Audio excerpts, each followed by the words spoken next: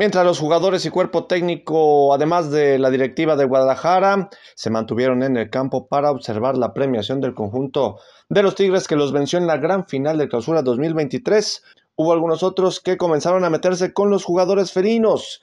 Estos fueron algunos aficionados que en sectores del estadio de las Chivas comenzaron a gritar y a meterse con los futbolistas universitarios. Uno de ellos fue Luis Quiñones, quien en una de las zonas de tiro de esquina fue a regalar su playera a un puñado de seguidores de Tigres que estaban en esa zona. Sin embargo, al ser increpado por aficionados del Guadalajara, el colombiano simplemente los mandó a dormir y comenzó a burlarse de ellos.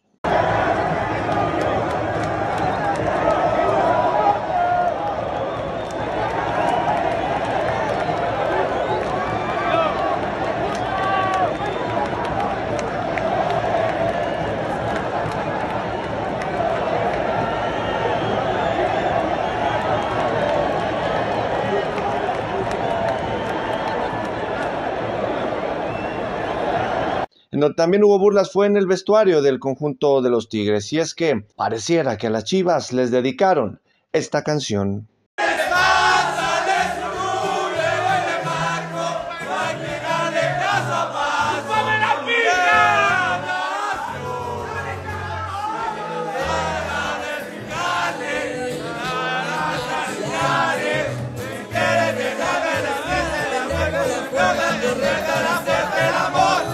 Finalmente, en sus redes sociales, Diego Lainez dejó muy claro que para aquellos que piensan que fracasó en Europa, que él querría al último.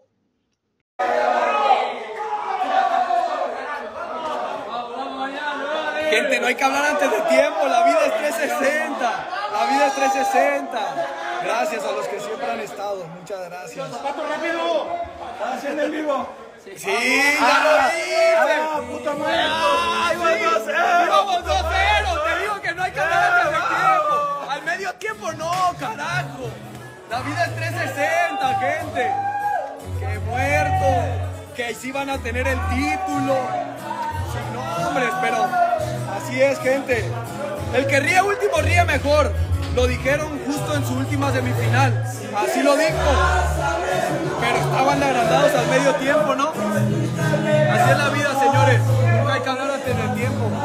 Gracias por todo para los Tigres, siempre que están con nosotros,